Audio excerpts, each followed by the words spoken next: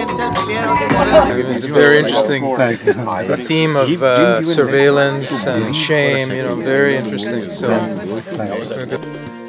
So what made you decide to write the script? See, we pick up the stories from the, the real life.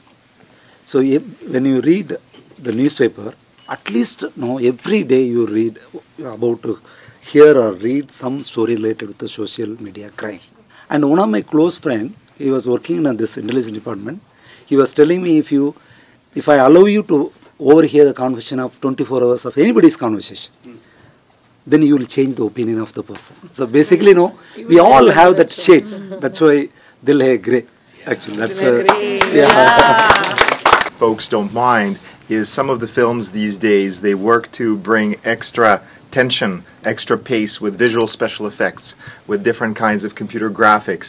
And here the pace was the writing, the acting, the story, and just gripped us and twists and turns every several moments, surprisingly so, because often it takes time to develop these twists, but they were happening seamlessly, cohesively, and uh, mind provokingly. Again, without as much so special effects that, that others use, so incredible. Uh, well, well done.